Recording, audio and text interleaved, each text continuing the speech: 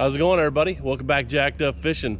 Well, we're putting a boat lift in today, an elevator style boat lift for the 37 Sea Hunter. So if you want to see that, stick around and I'll show you how they install it.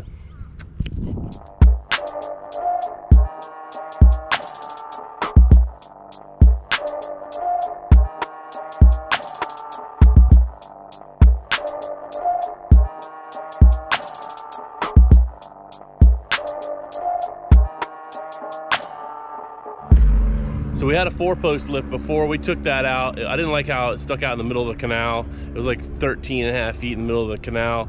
Our canal is only 50 foot wide. So, uh, you know, this one's a little bit less invasive. It's an elevator lift. Only has two poles right along the wall. It lifts them up and it lifts it at an angle, which is really cool. Um, I see them a lot down South Florida. So I figured I'd replace the old lift with this one. And uh, we'll watch Jordan put it in. He's got a crew here. I got it on time lapse we'll pick up some good footage. I'll show you around the boats, see what I got going on here on the compound. Stick around.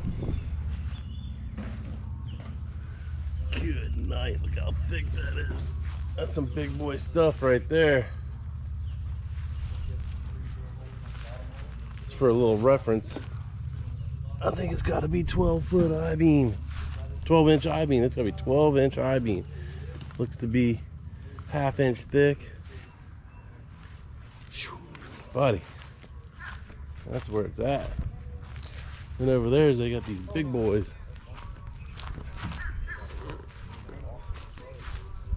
Oh.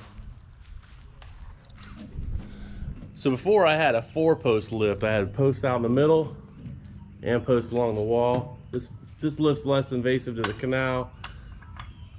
It's called an elevator lift.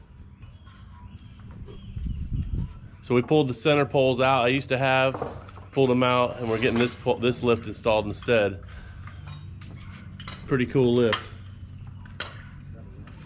Pretty easy. Looks like it goes in pretty easy. These boys are doing work. So what amazed me about Jordan and Josh is they came over with a five-man crew and they did it all by hand, no machinery. So right here, they're getting ready to put the pole in. It's five guys, and they're getting ready to set this pole in all by hand. They lift it up, get it straight, put the level on it, and jet it down. Pretty awesome.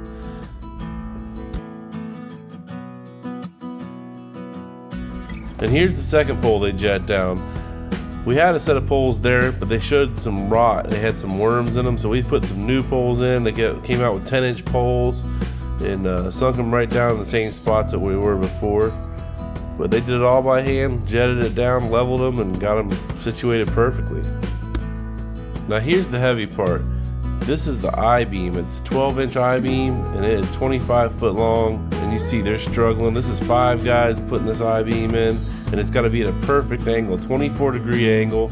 So they got to get it perfectly set up and there's a mount on top of the pole that it slides into, so it's pretty critical to get it perfect. Otherwise, the lift won't work correctly. So here's the second I-beam. Same thing, they gotta line it up in the mount first and they gotta get it at a perfect angle. One guy actually jumps in the water, they're having a little bit of a tough time getting that angle set perfectly. He jumps in the water, helps guide it along, they jet it with a jet and they're getting it down. And it was amazing to watch these guys work. They really got got it down to a science. So they got it in, and then they start having to beat it down into the hard pan, which is a pretty cool thing as well.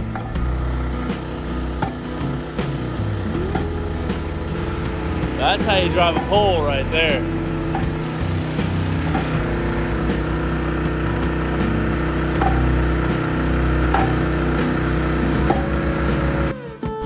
So a lot of guys use all the machinery and come out here with machinery. These guys are pretty simple. They use manpower.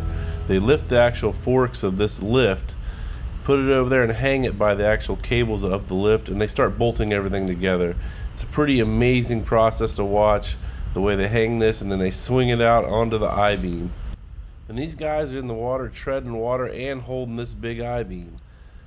So I decided to throw the drone up a few times, show everybody what the canal looks like, how wide it is, you can see my other boathouse over there. That's got my fillet table and my bay boat. But this right here is an aerial photo of them putting it in and just another view of it coming in the canal and what it looks like.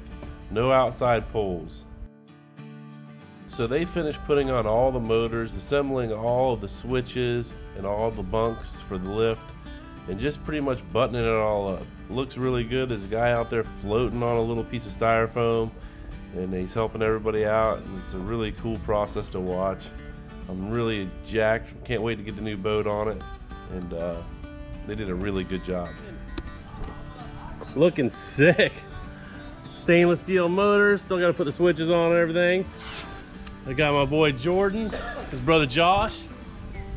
What's I'll put I'll put their info down below here. If you ever need a lift installed, they get, they're pretty awesome. They put it in.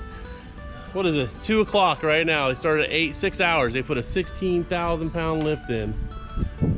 Ain't no time wasted here. Nope. Call us. So I'm gonna put their number right here.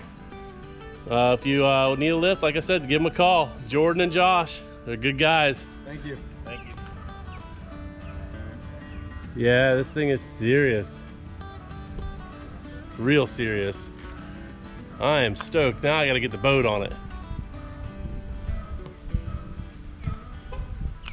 Well, I'm pretty stoked today. I just got done fueling this pig up with fuel because we didn't fill it up after our last tuna trip.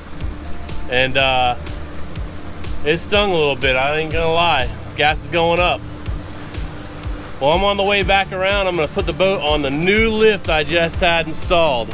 And uh, I'm pretty excited, to say the least.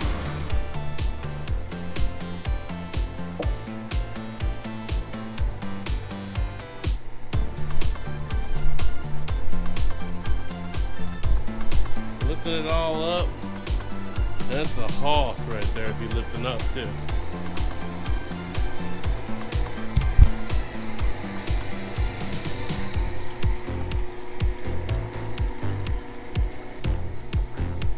She's up.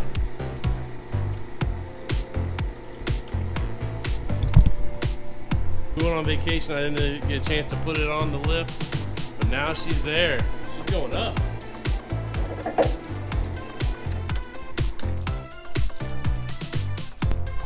And this is called an elevator lift. There's only two posts on the side here, and there's none out in the center. So that's why I liked it, because I could come in, go in sideways, pull up into it, and then lift it up. Didn't really, wasn't invasive into our canal here, which is was really important, I thought at least. Yeah, pretty nice. Pretty nice. Well, that's that. Things up on the lift keeps me out of the boat ramps where I start to lose my temper because some of these people out here.